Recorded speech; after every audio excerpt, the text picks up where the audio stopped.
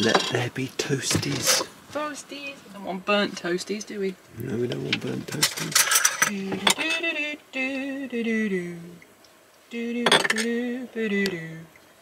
It's a luxury toasty time today because what's it got in it? Tapenade. Tapenade and cheese. Mm-hmm. Mm.